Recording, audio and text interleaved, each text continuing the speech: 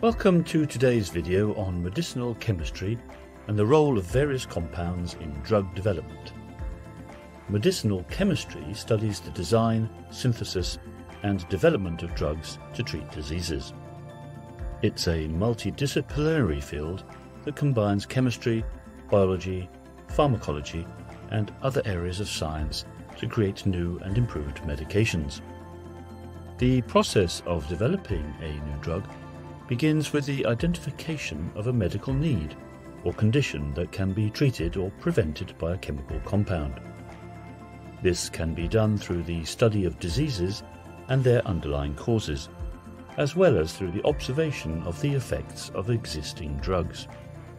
Let's take a look at some of the compounds which are driving advances in drug development. One class of compounds that has garnered attention in medicinal chemistry boron clusters. Boron clusters are compounds that contain multiple boron atoms connected by chemical bonds. These compounds have been studied for their potential use in the treatment of inflammatory diseases as immunosuppressive agents and for their ability to improve drug delivery. What are the properties of boron clusters? Well, key properties of boron clusters include an ability to bind to certain biomolecules selectively. This property allows boron clusters to target specific cells or tissues in the body, making them of interest as drug delivery agents. In addition, boron clusters have been shown to be anti-tumour in nature, and they are part of ongoing research studies for potential use in treating inflammatory diseases.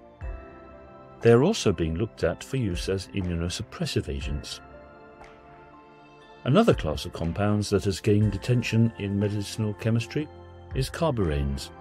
Carboranes are compounds that contain multiple carbon atoms connected by aromatic bonds.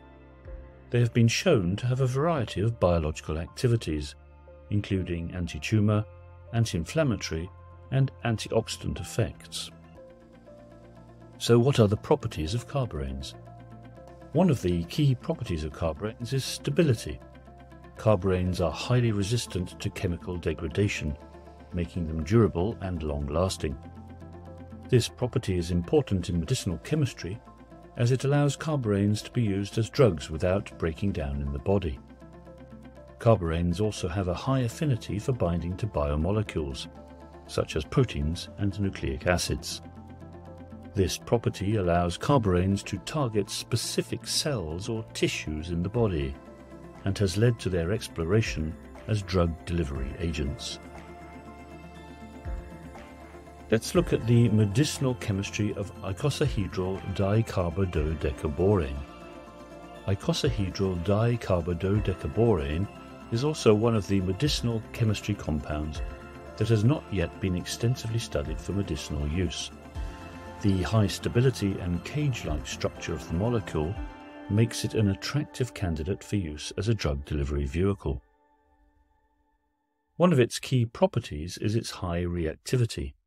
This makes it an attractive molecule for medicinal chemistry, as it can be easily modified to form new compounds with specific properties.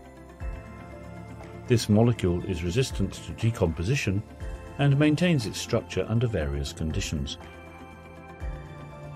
This can help to ensure that the active ingredients of a drug are delivered to their target site in their active form. We hope that this short video on medicinal chemistry showcases the remarkable complexity and rapidly advancing nature of this field. As groundbreaking findings continue to be made, researchers in this area provide us with exciting glimpses into what may come next.